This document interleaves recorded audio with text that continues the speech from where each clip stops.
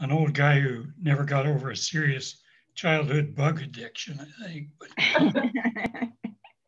All right, noted. share my screen here. Is that showing up for you? Yes. You're, you're sharing the uh, file screen and not the presentation view. There you go. Let me pull all of you over to the side here. Um, well, we skipped the front cover of the book that Steve and I did some years ago. but uh, speaking of, uh, didn't know what a damselfly is, here is a photo of a dragonfly along with the damselfly. And you can see um, the uh, dragonfly has its eyes close together on the front of its head. They're widely separated on the damselfly. From the front, the damselfly looks a bit like a hammerhead shark. Um, the bodies you can see, dragonfly has a much thicker abdomen, very robust, fast flyer. Damselfly is much more, uh, much smaller abdomen and more delicate. Uh, they're not a real um, fast flyer like the damselflies. Usually flit along in the grass, and it's amazing because they're a lot of them are brightly colored, but they easily disappear in the grass. Typical insects, you know, two pairs of wings, compound eyes, head, thorax, abdomen, six legs. And the uh, dragonflies, when they perch, they hold their wings out from their body. uh, damselflies hold their wings kind of back over their body. How many are there? People seem to always want to know that. Uh, currently, there's about 6,300 uh, described species in the world uh, many of those in the tropics and uh, new species still being found in the tropical areas. Um, as a matter of fact, a friend of mine uh, is describing a species, a damselfly that we found in Panama last year. Um, Oregon, we have 94 species. Uh, you, certainly won't see all of those uh, because some of them are ones that have flown in from the south and you get one look at them and then they're gone and they don't, uh, you don't see them again next year and they don't tend to breed here. Let's talk about the life cycle. It's uh, pretty complicated. They start off as eggs. These eggs are tiny, half a millimeter in length, in uh, width. Uh, they're laid and in a couple weeks they hatch into these larvae. Uh, the larvae um, are uh, various shapes and sizes, and we'll look at some of those in a minute, but they are all in water, of course. And uh, when you don't see the adults, like in the winter, they're all still there, but they're in the water in the ponds and streams and emerge in the spring. Spend time as a larva. When the larva uh, becomes mature, it crawls out onto uh, some plant stems, twigs, or sometimes up on a rock. And the, the larval skin splits down the back and out crawls this drab, wet looking thing, uses blood pressure to blow its wings up and its abdomen. And I'll show you a slide of that in a minute. Um, and here's the adult uh, uh, phase uh, where they're, they're mating. Of course, uh, the adult phase is really all about eating, mating, and laying eggs. Uh, and the adults only live uh, probably about three weeks or so. And so most of their life is actually spent in the water as larvae. And in mating, you may have seen these flying around in this wheel position, and they can fly like that. Uh, males are more brightly colored than the female, just like birds. Male grabs the female behind the head. She bends her abdomen up to the second abdominal segment of the male. And that's actually where the uh, business takes place. Uh, and here's some of the larval forms. These are all dragonflies on top, damselflies on the bottom, and they're a little more delicate. These are gills, so they're taking um, oxygen out of the water with these gills. And, uh, dragonflies actually have a rectal chamber, we call it, and their gills in there they pump water in and out and take oxygen out of the water uh, with those gills. Now here I'm going to show you a sequence of a, uh, a nymph that's crawled out of the water and is in the process of emerging. And you can see this is actually the nymph. It's split down the back and here's the female crawling out. And crawls out and then it's going to blow its wings and its abdomen up with blood pressure, which is pretty amazing. To be able to go from breathing with gills to breathing oxygen out of the air. And off we go into the wild blue yonder.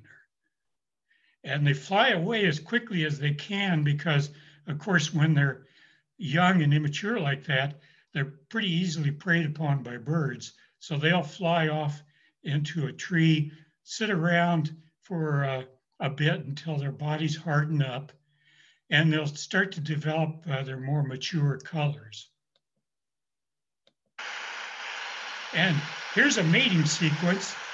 This is a common whitetail, it's mated with this female. And some of the males will do this. They're guarding the female while she lays the eggs to prevent other males from mating with her because, of course, uh, their goal is to pass on their genes. And uh, he will guard her and guard her and, and drive off any other males that come around.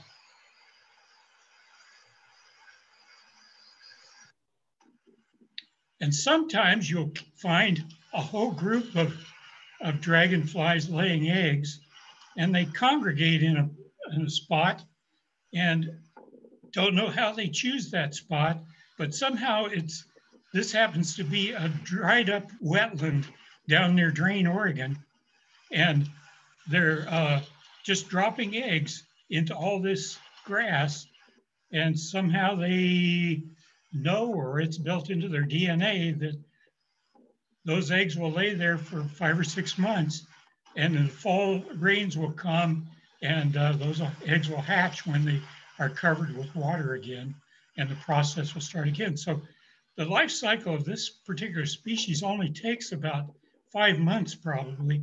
The rest of the time they're laying around as eggs in this in the dry soil.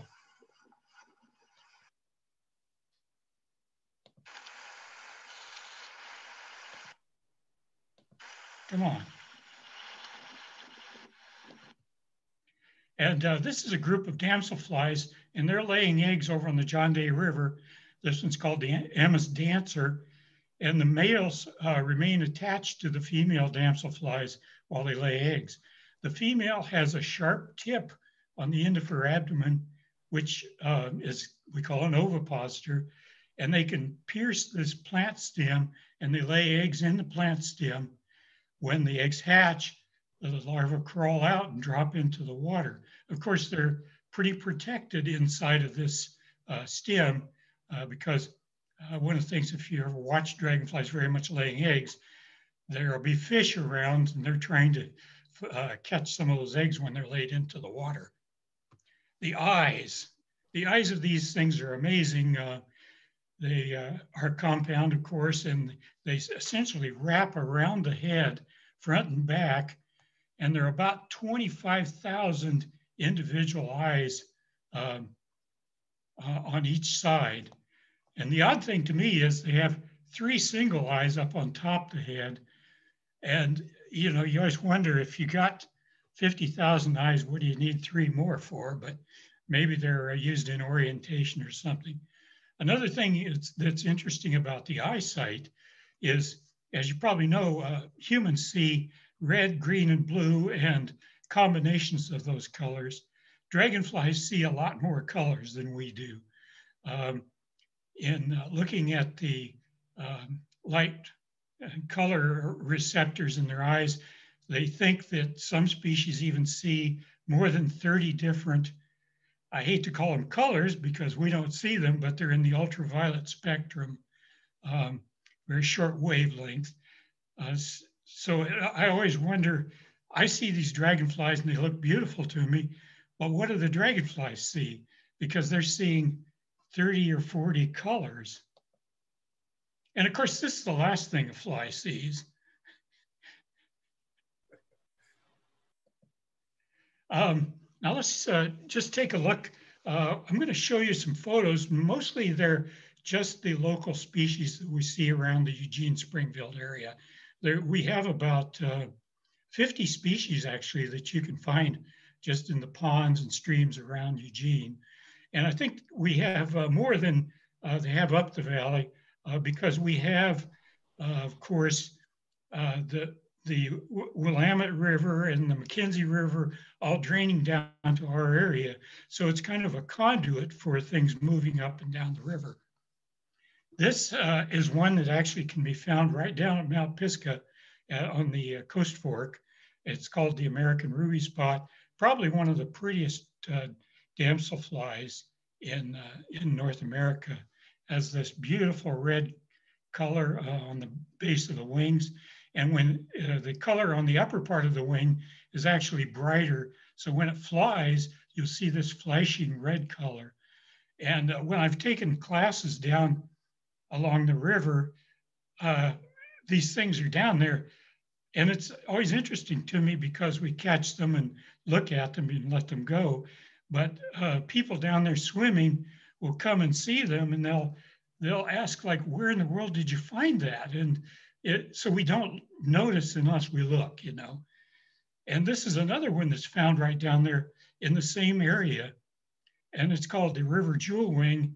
And uh, I understand we have to find names for these things, but I think this thing could actually be called the river jewel because the body is really bright uh, metallic green and it's uh, refracted light. So if you see the sun from on it from a different angle, it might look blue or uh, some combination of those colors.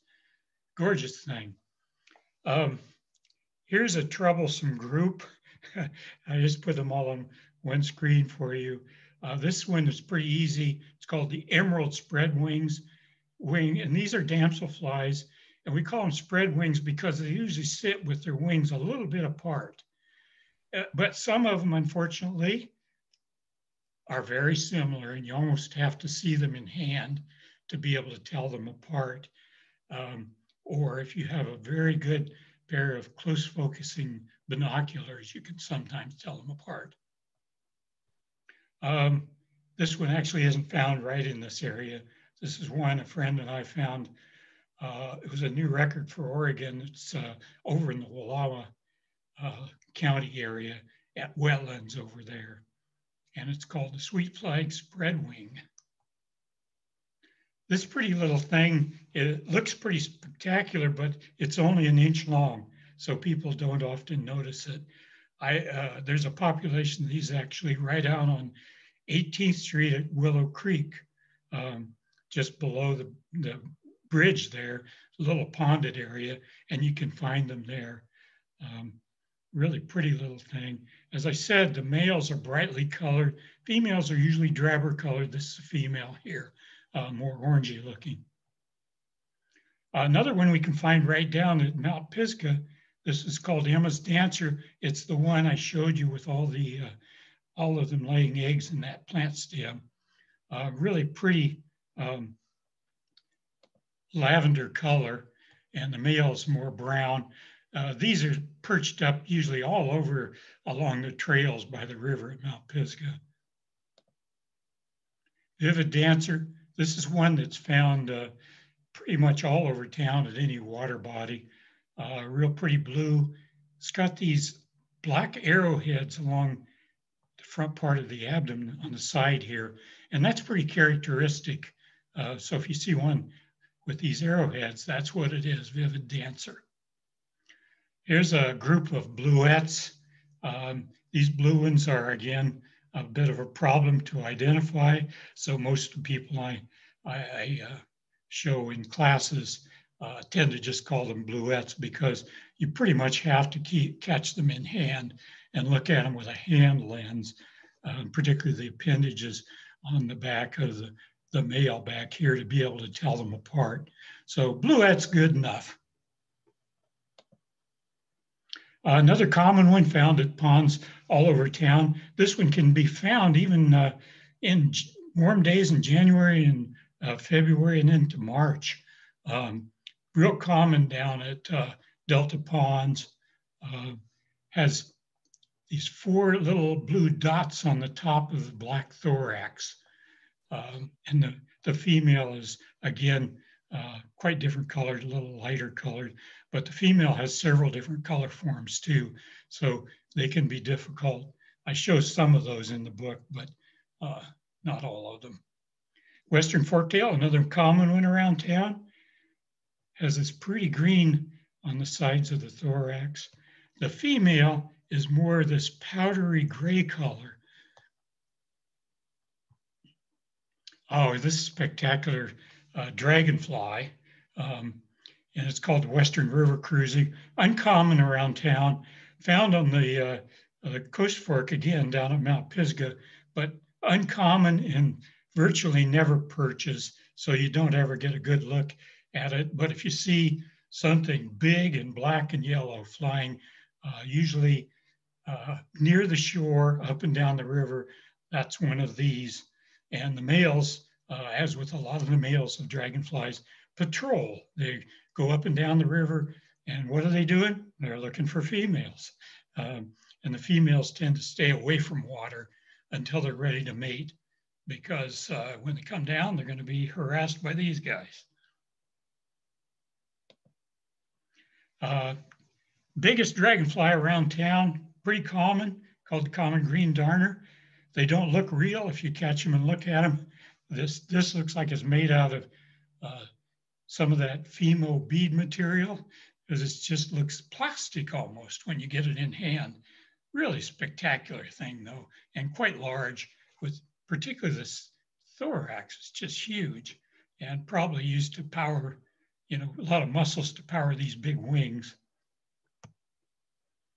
Blue-eyed darner, pretty common around town.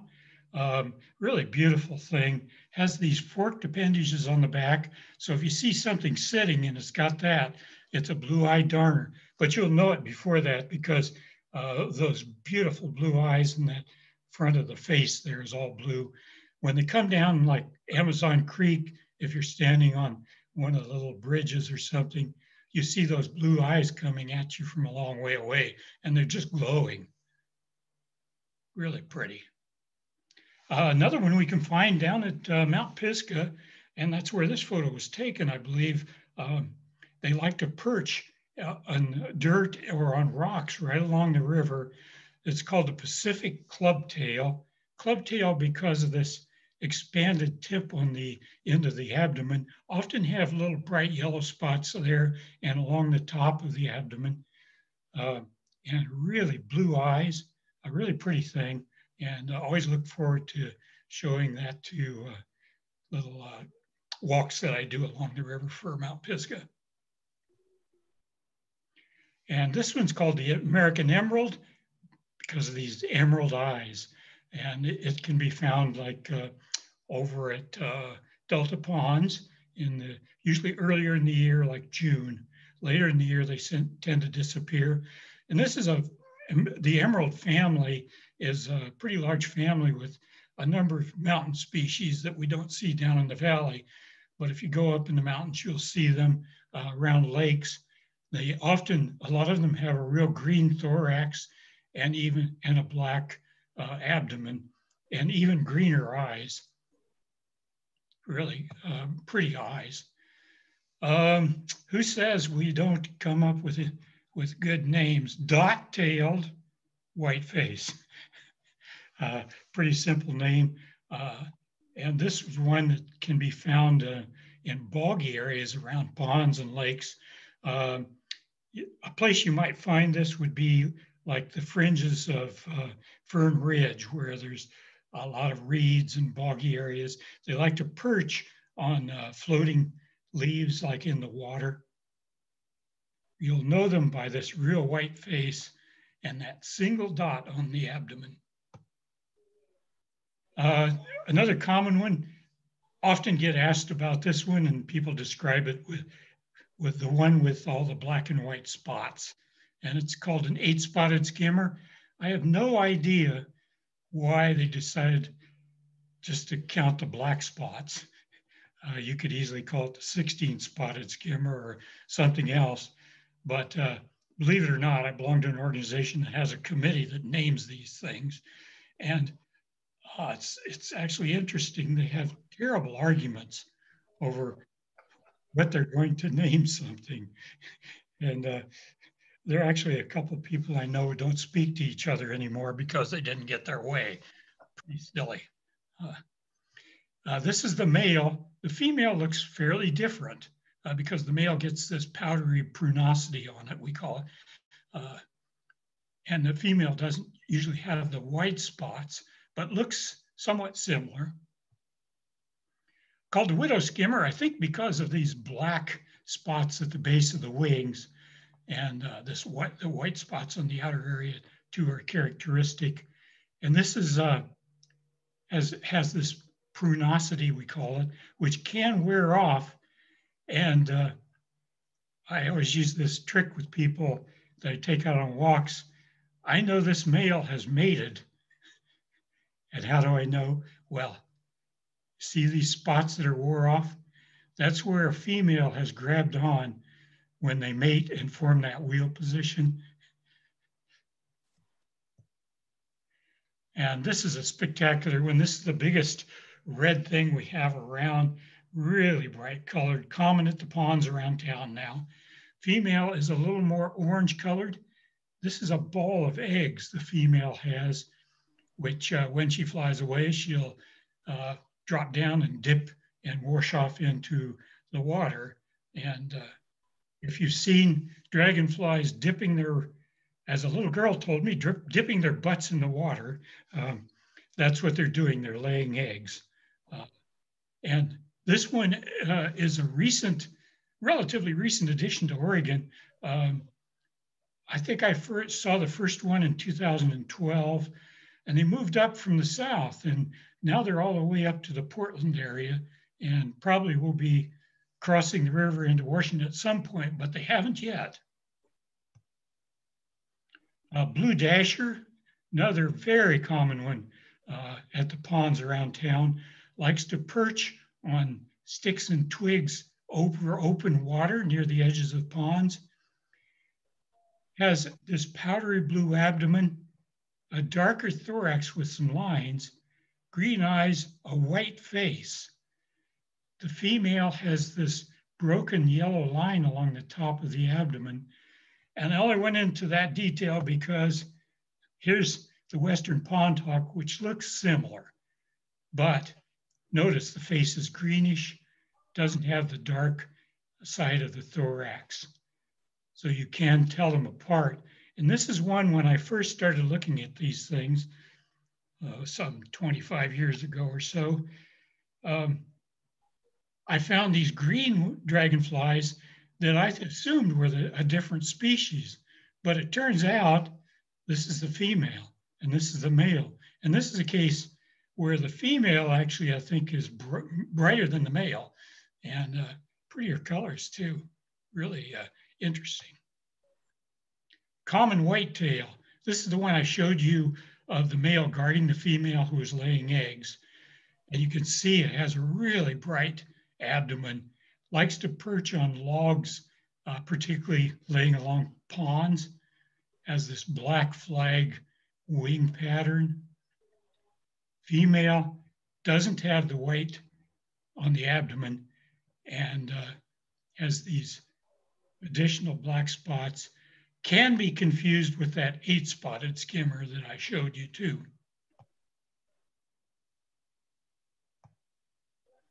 And now we get to a group that is troublesome too in identifying, these are uh, meadowhawks we have um, you know, half a dozen species around town, and they're all reddish colored and they're small.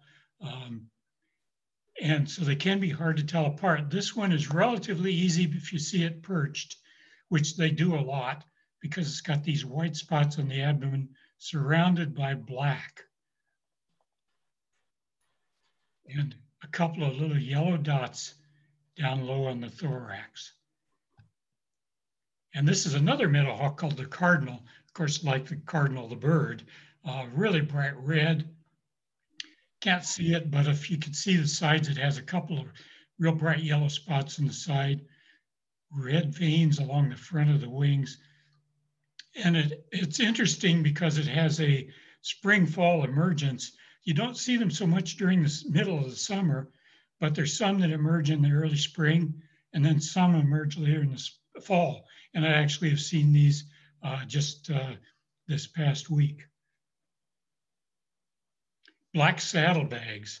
Uh, this is a, a, big dragonfly um, and has these black, which they call saddlebags at the base of the wings, big broad wings. This thing flies and flies and flies and uh, usually flying up 10 feet or so, eight or 10 feet. So what I often see is a shadow on the ground from these black bags. And I look up and there they are flying around above me. I know you all hate to walk into those spider webs that are particularly common right now, but think about what the spider is thinking. If we pull this off, we'll eat like kings.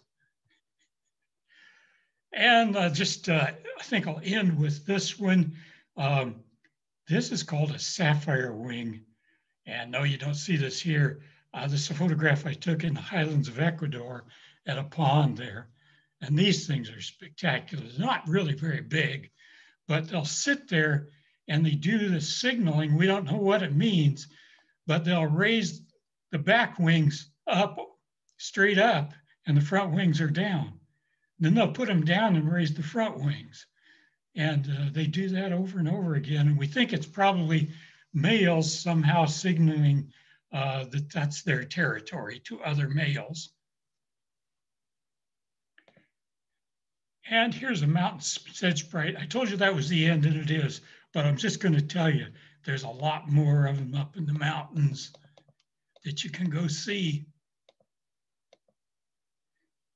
because I think we're at 1254. Thank you so much, Cary. That some of those pictures are stunning. And I, I took a class at a walk at Pisgah a few years back. Are you still able to do that in person or do you do it virtually or what are you doing now? We're doing nothing now. They've canceled all of their events. Yeah.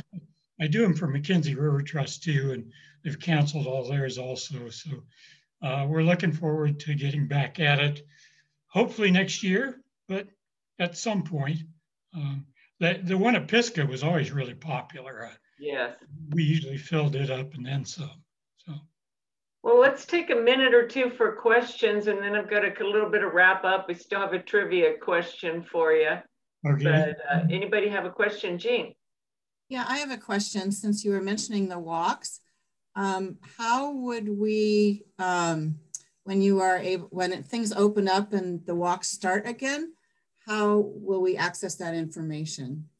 Well, um, about the only way to do that would be to look at uh, either uh, Pisgah's site or uh, McKenzie River Trust, their websites. They list all of their walks on there. And so uh, okay and I I will sometimes post them on Facebook, and but they put them on Facebook too. So that'd be probably the only way. Great, thanks. The Register Guard used to do that, but they don't seem to do that anymore. John, did you have a question? What what do the dragonflies eat uh, during their flying time? You didn't mention that. Uh... Yeah, I'm sorry about that because that's really important. They eat insects, so they're great to have around.